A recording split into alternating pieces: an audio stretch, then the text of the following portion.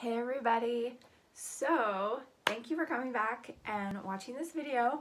Um, this channel is called Busy Diamond Painter for a reason because I love diamond painting but I'm a mom of two and I just have stuff going on and I don't have time to sit down with like certain organizing things. Anyway, I kind of have adapted my own way of doing things that doesn't have to be difficult because if I start to overthink things, I they stop being fun. So we all know how that goes, right? And so with diamond painting, I started like reading a ton of things and really like was starting to get kind of worried um, because I couldn't. There's just so much info. Hold on. And I could not grasp everything everybody was saying. So I decided just to do my own thing. There we go, I'm a little bit lower, and it works. So um, first of all though, I do want to give a shout out to a shop on Amazon, in, INFELING I think is what they're called. They sent me some of the cutest Halloween pictures that I have ever seen. And I honestly, like, you never know. This is from Amazon, you guys. I buy all my stuff off Amazon. Look at how darling. It's nice and big. You can totally like see all of the things. All of the um, symbols are great. I'm working on, anyway, this was a pack of two and I think the pack of two was like $16. So it was what, $8 a painting or so. And I will link them below and I will show you more of one that I'm working on right now in a little bit. But they are really, really good quality. Like I was extremely impressed and I will for sure be ordering from them again. And I'm not just saying that, like I really pulled them out and I've had them for a while. I pulled them out I was like, oh wow, it's really nice. Um, anyway, back to what I was saying. I'm a busy, busy mom. So I'm going to show you how I set up my inventory. And I usually do it when I just have a few minutes or when my kids are watching TV and I'm watching it with them. You know, um, anyway, so that's my plan. So I'll show you what I do. A lot of people put um, the diamonds, the drills, in these little containers. And I, I love the idea of these. I do. I, I love being able to just sit down and pour them out. But my problem is, is there's usually like a little one around. And all I can think about is I would stand up and I would knock them over. So it just did not, it did not work for me. And someday, eventually, what I would like to do is put like all my leftover drills in something like this, or when I, when I'm not so clumsy, if you've ever had to pick up a pack of drills, you know what I'm talking about. but I absolutely love the idea of this. But for right now, it just didn't work for me. So I am going and I haven't messed with kids all day, so I look lovely.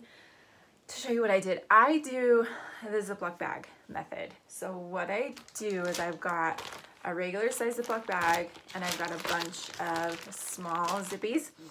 And I've tried a ton of different sizes. So far, these are my favorite. These are like two inch by three inch. And sometimes you will get, like we all get the little Ziplocs in some of the kits that we've gotten. But I just don't trust them. Like they're just a little too on the flimsy side. So I put everything in these and I got a pack of 100, I think for like three bucks, again on Amazon, it's just my thing. And you have to understand though is I, I don't do huge kits right now. I don't have the time. So my drills all fit in these and then if I need to, you just make two or three. Okay, so these are, I'll just show you. This is my prep. I have my bags, okay? And then I get my package of drills. Oh, I don't have one here. Okay, so I grab my drill. And what I do is I like the ones with the DMC code. Sorry, I should obviously have been more prepared here. I like the ones with the DMC code. So if I can get the ones with DMC code, I do. But you, sometimes, you know, obviously you never know. But this one, for instance, this is the one that I showed in my last unboxing, which will probably be my next one that I do. But what I like to do is I take my drills out and I make sure that I have all of them after you know you do your inventory. And then what I do is I take 310, okay, and I write on my Ziploc bag. So these are, this is my, my um, inventory from this Happy Halloween one that I'm working on. And I put HH, that's Happy Halloween, that's how I remember. And then I write the DMC code. So this one is 310, obviously. Okay, so on the baggie, I write which one I'm working on and the DMC code, and I just pour it right in. And this is what, yeah, okay. So easy, at least for me. Like this is this is what I'm, I'm showing you it works for me. And then I zip it back up and I'm good to go. So I do that with everything when I get them, even ones that I haven't started, just because I know I'm not, I'm that kind of person that I know if I don't do them and put them together that even if I'm not working on them, I'll lose them. So, so I have this one. I'm working, I have a cow that I'm going to be starting in a little bit. So I took, I did the inventory and made sure I had everything. And I put the tools that came with the kit in it. And these bags are way too big. I didn't love these. Um, I put cow and it didn't have the DMC code. The cow only came with like the number. So I put the number. And, um, or you know what you could even do is you could cut this off and put it inside or you can use a label maker or whatever you want. It was just quicker for me to write it. And then I put it in a regular, like a quart size Ziploc bag. And there you go. And then I have it labeled cow because I know which one's cow and I know which one it goes to and there's no risk of these accidentally getting broken or everywhere. That's just my, I spend money on them and I don't want them to go anywhere. So that's how I do my inventory. I have a cow and then I have the ape one that I did. It's done. It's gone. I still have it. The Eiffel Tower one that I did, it's done. I just keep these bags. Eventually, I will go back and I will just combine them all. But for right now, I have a drawer and they just chill out in there. And it works out great. And so far, and then I have some of these little kits that I've gotten. I actually use these for birthday presents. They will come in, you know how you get like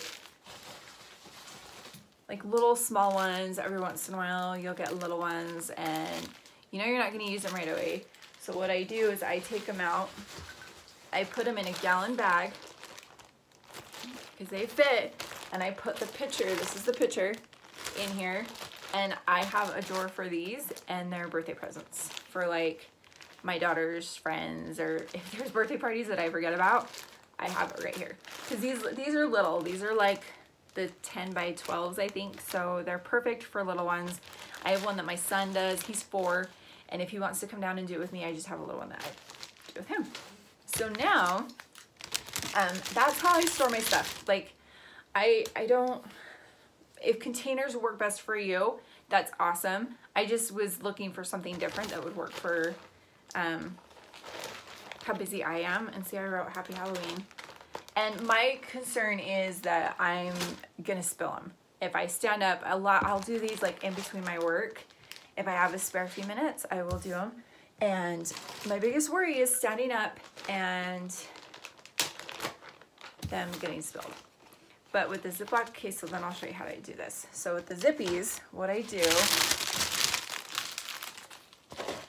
move some of these here, is I bring over my work. Don't you hate when people aren't prepared for YouTube. Yeah. Okay, hold on. okay, so what I do is I actually take my painting and I have this shelf that was supposed to go in my desk, but I don't need it. So I just tape, I usually use like painter's tape or washi tape. I tape it to this and then I literally like just carry it all over my house. But what I do is I take, I work in sections. So right now I'm working up here in this small section. So you can tell like each little section that I'm working on. That's how I do it. And what I do is I will cut, like if I'm ready for my next section, I will cut my next section and I work per color. So then I will look and I'll hurry and like look at the symbols and be like, okay, I need, um, I need 518 and 720 and 540. So I'll pull those colors out and then I put this away, put it back or wherever out of the way, and then I do them. Pour them into my tray. I, I like the green trays, you guys. I do. I love these. So that is how I do it. And then I, when I'm done with it, they pour right back in here easy. And I keep everything zipped always have it zipped because most of the time I will have to stand up and run to kids. And that's what's really nice about the working in sections is I can just flip that flap back over and I'm good to go for a while. So anyway, that is how I do my inventory. And um, I think sometimes diamond painting can be complicated. And you guys, it's not. It's so much fun. It literally is probably the only projects that I've ever had the patience to finish. But it doesn't have to be fancy. You don't have to have cupboards full of stuff. Like there's, you can make it work for you. And um, yeah, so that's how I do it. If you have any questions, I will link the baggies and I will link, this is the other um, Halloween one that I got um, from that company. I will link all of those and you can go check it out. And I will talk to you later. Bye, everybody.